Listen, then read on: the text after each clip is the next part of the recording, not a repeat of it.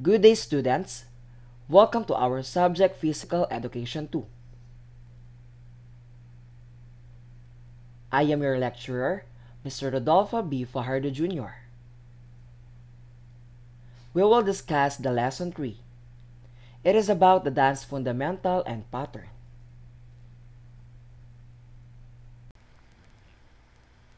The topics that we are going to discuss later on are about the chapter 5. We have dance terminologies, feet, arms, wrist, hand, and fingers, basic arms and feet positions, fundamental positions in dance, fundamental movements, and the last one is the dance formations.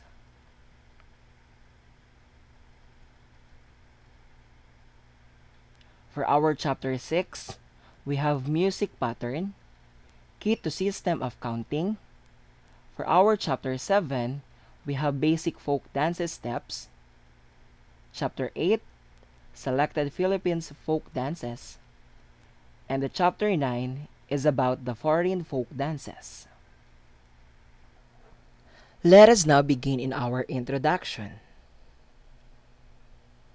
When an individual moves in response to a particular rhythm or music, we call the movements as rhythmic movements or rhythms. And also, it refers to movements set to music where there emerges organization, structure, and pattern. It is also a composition that implies arrangement of parts into a form. Let us now proceed to our chapter 5. Topic 1. It is about the dance terminologies. This time, I will give you a question again related to our topic. Why terminologies are important to a dance? If you are sitting in the lobby, you will often hear our dancers calling out the proper terminology as they dance. Not only does saying the word as you do to the movement increase the overall usage of the brain. It cements the meaning with the action, creating better retention. So let me give you some example of terminologies.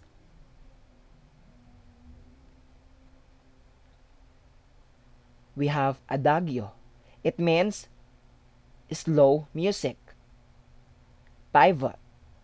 Turn on the support foot.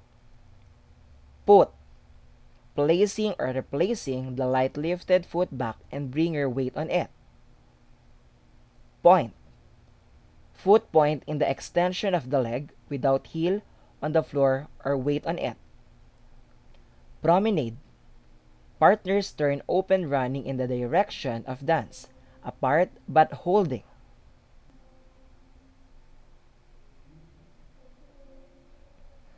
Let us now proceed to our topic 2 feet coordination in dancing. Keep your feet still or just shuffle through letting your feet do whatever they want. Just focus on your arms.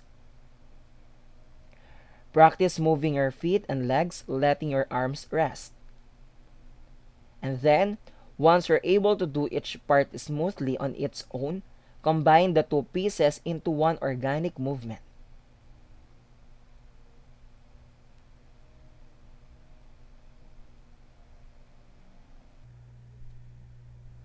For our topic 3, it is about the arms coordination in dancing. For example, movements in dance and sports usually involve doing something with your arms and with your feet. Keep your feet still or just shuffle through letting your feet do whatever they want. Just focus on your arms.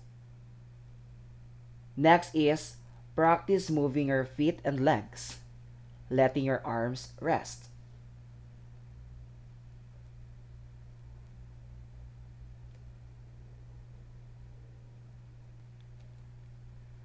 Topic 4 is about the wrist, hand, and fingers.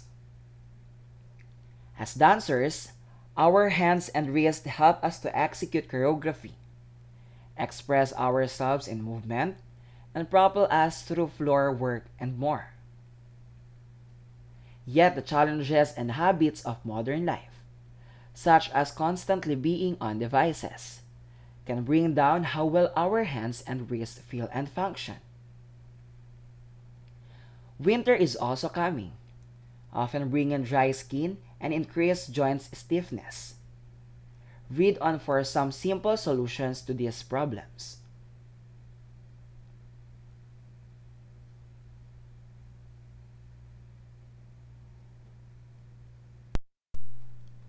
Let us now proceed to our topic 5. It is about the basic arms and feet positions. First position, bring heels close to touch toes apart. Second position, bring feet apart sideward. Third position, bring the heel of one foot to touch the instep of the other foot. Fourth position, bring one foot in front of the other foot to walk straight. Like what we have in the example picture.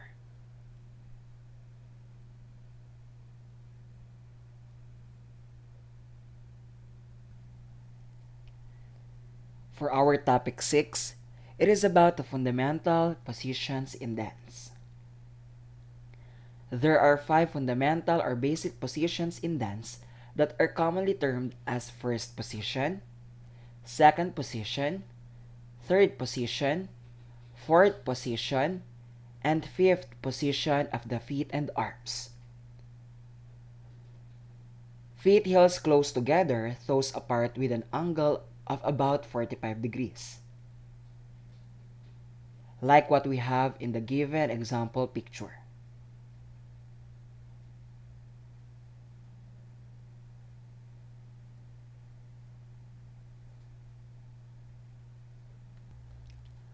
For our topic 7, it is about the fundamental movements.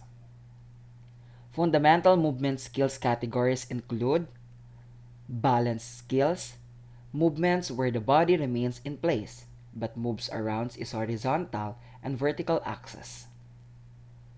Next is locomotor skills, such as running, jumping, hopping, and galloping. The last one is the ball skills, such as catching, throwing, kicking, underarm roll, and striking.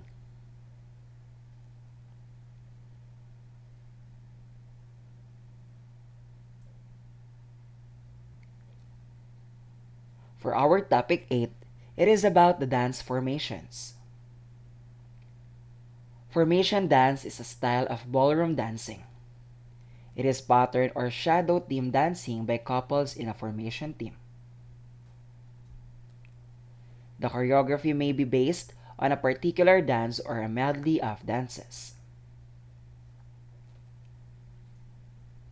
Formation dancing may be done for exhibition or for competition between teams. There is also a type of formation in Bhangra.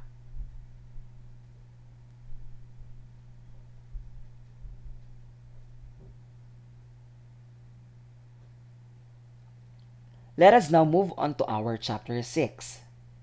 Topic 1 Music Pattern. Classical examples include aria, madrigal, sonata, cantata, and the last one is serenata. And also remember that contemporary song forms are commonly broken down into three major components. We have verse, bridge, and chorus.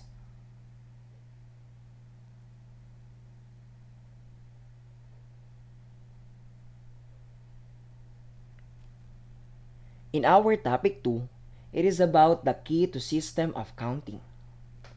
So this time, let me ask you a question. How do you count in dance? In music, there are typically four counts or beats per measure.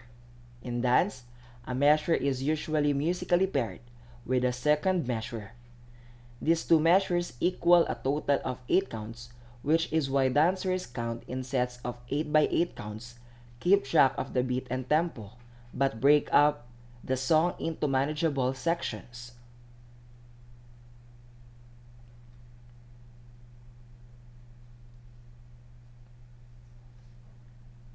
Let us now move on to our chapter 7. It is about the basic folk dance steps. What is it important to know the basic steps in folk dance? Many people enjoy learning basic steps in folk dance in order to participate in either a social or religious tradition or sometimes just to get some exercise. Whatever your reason for learning, folk dancing is a fun form of movement that involves dancers from all ages and backgrounds.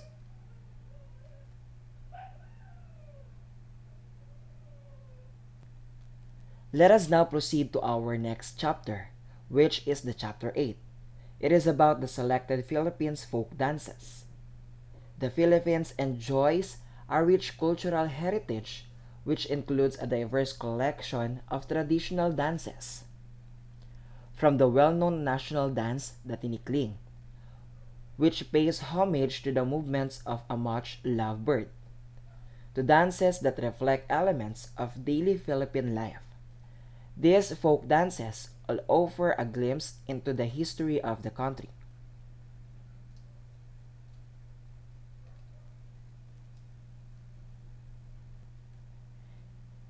Here are some examples of traditional folk dances of the Philippines.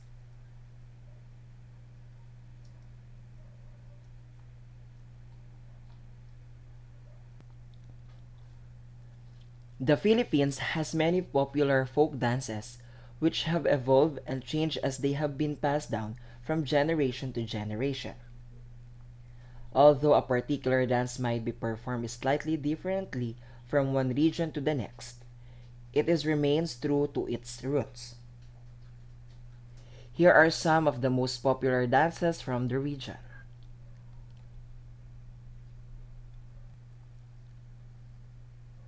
Let us begin with the itik-itik. The best description of the itik-itik is that the steps mimic the way a duck walks, as well as the way it splashes water on its back to attract a mate. According to popular tradition, the dance was created by a lady named Kanang, who choreographed the steps while dancing at baptismal party. The other guests copied her movements, and everyone liked to dance so much that it has been passed along ever since. Here are some example picture.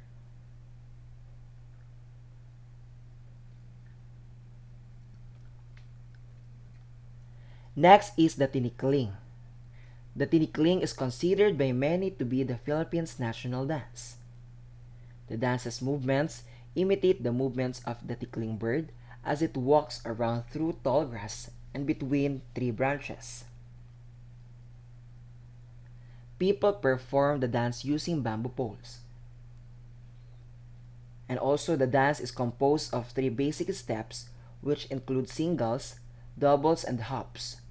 It is also look similar to the playing jump rope, except that the dancers perform the steps around it between the bamboo poles. And the dance becomes faster until someone makes a mistake and the next set of dancers takes a turn.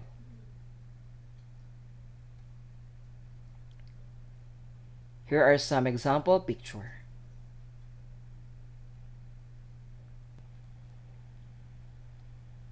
Next is the sayaw sa bangko.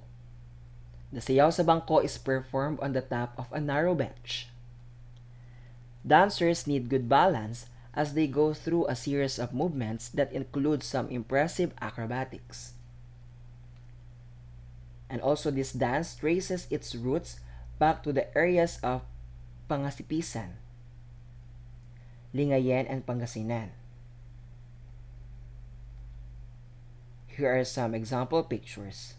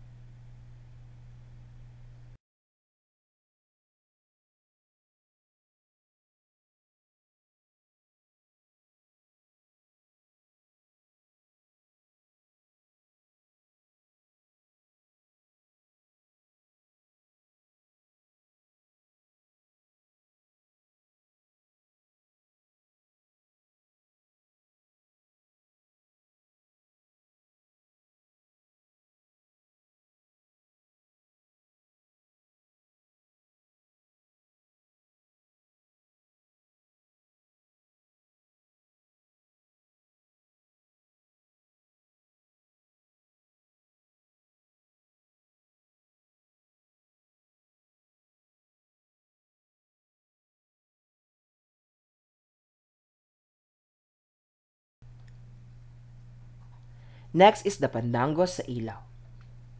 The pandango sa ilaw is similar to Spanish fandango, but the pandango is performed while balancing three oil lamps, one on the hand and one in each hand. It is also a lively dance that originated on Lubang Island. The music is in 3-4 time and it is usually accompanied by castanets. Here are some example pictures.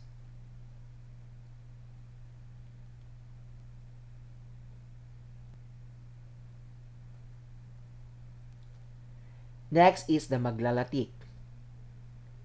The maglalatik is a mock war dance that depicts a fight over coconut meat, a highly prized food. The dance is broken into four parts. Two devoted to the battle and two devoted to reconciling. The men of the dance wear coconut shells as part of their costumes, and they slap them and rhythm with the music. The maglalatik is danced in the religious procession during the fiesta of Biñan as an offering to San Isidro de Labrador, the patron saint of farmers. Here are some example pictures.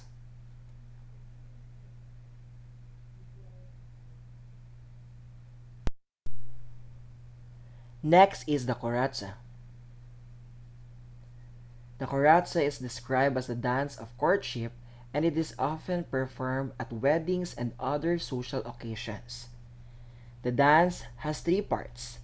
The couple first performs a waltz. In the second part, the music sets a faster pace as the man pursues the woman around the dance floor in a chase. To finish, the music becomes even faster as the man wins over the woman with his mating dance. Here are some example pictures.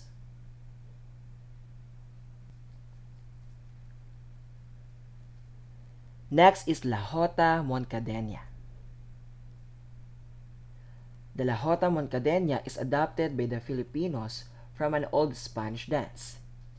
It is a combination of Spanish and Ilocano dance steps set to Spanish music and castanets. A more solemn version of this dance is sometimes used to accompany a funeral procession, but is also performed at celebration. Here are some example picture of La Jota Moncadena.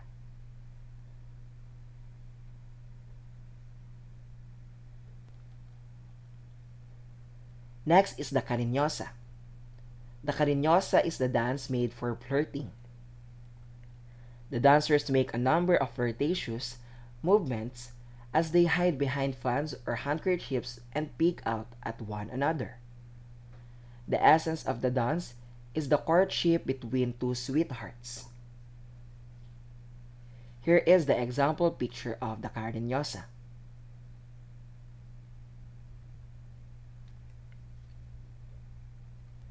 Next is the sortido. Sortido literally means assortment, and this square dance combines influences of French, Spanish, and Mexican dance. Traditionally, the sortido is performed by a head couple accompanied by two other couples who lead all the dancers through various formations that resemble an old-fashioned quadrille.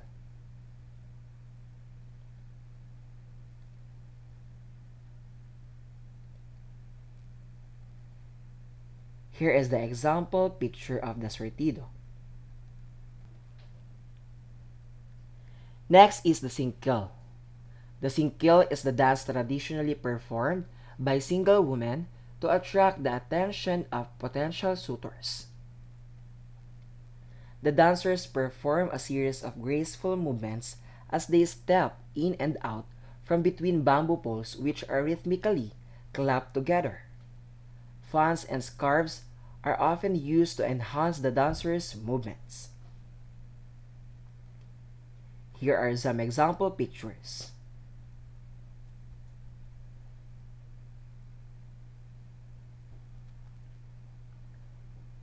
Next is the polka ball. The polka ball shows some European influence in its steps.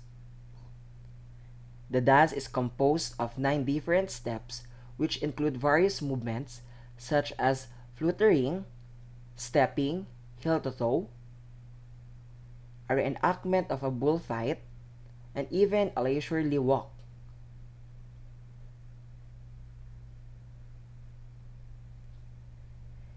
Here is the example picture of polka ball.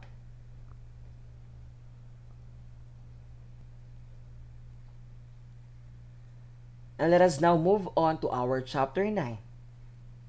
It is about the foreign folk dances.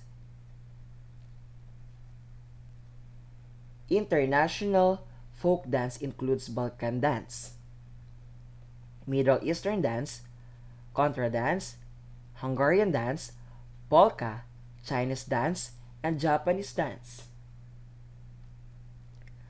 Clubs featuring this ethnic dance genres are enjoyed by non-professional dancers for entertainment. Here are some example pictures.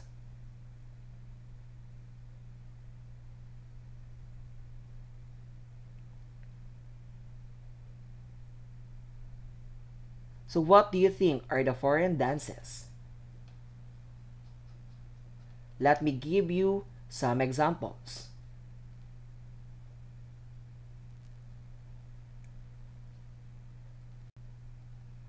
As you can see in our given example pictures, they are all the example of the foreign dances. Let us begin in Brazil. We have samba. China, dragon dance. Cuba, it is a salsa. Russia, we have ballet. Switzerland, it is traditional folk dance. In Argentina, we have tango. Japanese, we have kabuki. Austria, we have Viennese waltz.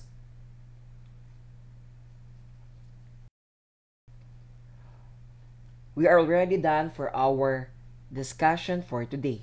Let us now proceed to our references.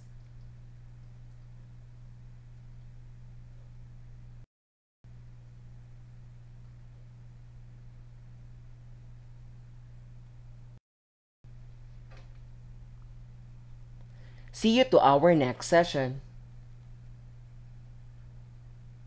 We are going to discuss by next meeting the lesson 4. We have the chapter 10 and 11.